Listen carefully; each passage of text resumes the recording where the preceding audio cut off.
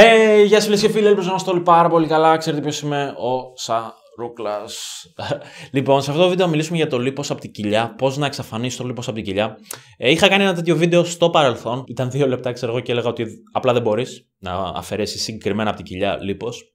Ξέρω εγώ, α, σαν να παίρνεις ένα κουτάλι και απλά να το βγάζεις από εκεί. Και ότι πρέπει να χάσεις γενικά λίπος και απλά να κάνεις υπομονή μέχρι να φύγει από την κοιλιά. Okay.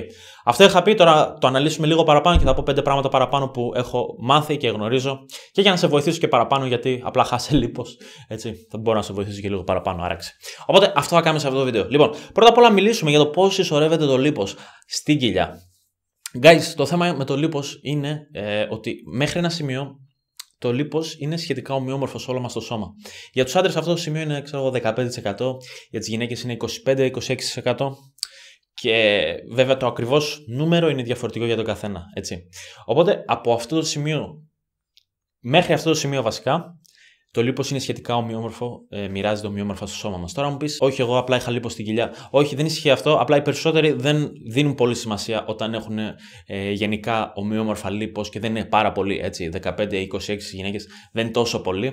Οπότε δεν το παρατηρούμε ιδιαίτερα και ξαφνικά βλέπουμε απλά ένα σκασμό λίπος στην κοιλιά και λέμε, Όπα, τι έγινε. Έτσι. Αλλά δεν είναι έτσι. Γενικά σε όλο μας το σώμα συσσωρεύεται λίπος, είναι αυτό το υποδόριο λίπος γύρω κάτω από το δέρμα. Είναι σχετικά ομοιόμορφο. Από ένα σημείο και μετά αρχίζει και συσσωρεύεται. Οπότε, εάν δεν έχεις ακόμα λίπο από την κοιλιά, καλύτερα να φροντίσει να μην αποκτήσεις. Έτσι. Οπότε σχετικά τελευταίο μπαίνει το λίπος στην κοιλιά. Το κακό με αυτό είναι ότι φεύγει και τελευταίο. Μπορεί, ας πούμε, στο, στα χέρια πια να έχεις 8% λίπος, αλλά να έχεις ένα σωρό λίπος στην κοιλιά. Οπότε, ενώ ομοιόμορφα έμπαινε λίπος στο σώμα μας και τελευταίο στην κοιλιά, τώρα θα χάσουμε ομοιόμορφα από όλο το σώμα και τελευταίο στην κοιλιά. Ωραία. Λίλο. Για ποιον το πιάσε. Λοιπόν, Οπότε, εσύ τι πρέπει να κάνεις; Ωραία. Το πρώτο πράγμα που πρέπει να κάνεις είναι να βάλεις ένα στόχο. Πόσα κιλά πρέπει να χάσεις για να φύγει το λίπος από την κοιλιά. Εντάξει. Οι περισσότεροι τι κάνουν. Πιάνουν εδώ το λίπος στην κοιλιά, το πιάνουν. Ε, έχουμε μια εμπειρία με το πόσο ζυγίζει το κάθε. Το, το κρέας, ξέρω εγώ, έχεις πιάσει κοιμά. Λες, ωραία, αυτά. Τόσο είναι 2 κιλά κοιμά.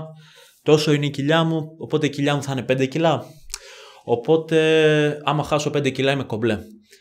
Το οποίο, όπως είπα, δεν ισχύει γιατί θα χάσεις από παντού και μετά θα χάσεις από την κοιλιά. Οπότε θα χάσεις 5 κιλά από όλο το σώμα και μετά θα χάσεις και από την κοιλιά. Οπότε μιλάμε 5 συν 5. Οπότε ένας καλός κανόνας είναι να το διπλοτριπλασιάσει. Διπλοτριπλασιάσεις ε, το λίπος που νομίζω ότι πρέπει να χάσεις.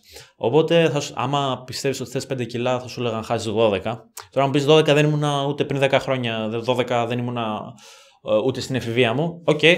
Απλά να ξέρεις ότι αυτό χρειάζεται. Εντάξει. Αυτό είναι το θέμα, ότι οι περισσότεροι το πατώνουν γιατί αυτό πιστεύουν ότι θέλουν να χάσουν 5 κιλά, χάνουν τα 5 κιλά και λένε Όπα, έχω ακόμα λίγο στην κοιλιά. Ε, αυτό είναι το νούμερο ένα λάθος που βλέπω. Η λύση είναι ότι πρέπει να χάσεις τα δίπλο-τριπλάσια. Η διαδικασία για να χάσεις τα κιλά είναι ίδια, εάν θες να χάσεις κιλά γενικά ή από την κοιλιά. Απλά για να χάσει από την κοιλιά, μάλλον πρέπει να χάσει τα διπλάσια ή τα τριπλάσια από αυτά. Εντάξει, αυτή είναι η μεγάλη διαφορά και αυτό είναι το τεράστιο τι μπορώ να σου δώσω και ότι πιστεύω ότι θα σε βοηθήσει πραγματικά. Ωραία. Οπότε αυτό είναι το βίντεο, παιδιά. Ελπίζω να σας άρεσε, ελπίζω να γουστάρατε. Εάν σας άρεσε, κουμπώνετε like και εγγραφή. Εάν θες να σε αναλάβω, μπορείς να ε, πατήσεις το link στην περιγραφή για ε, το coaching, για να χάσεις όλο το λίπο στην κοιλιά. Οπότε αυτά είχα να πω για την ώρα. Θα τα πούμε στο επόμενο βίντεο. Πείτε μου τι άλλο θέλετε να δείτε από κάτω. Ε, peace out.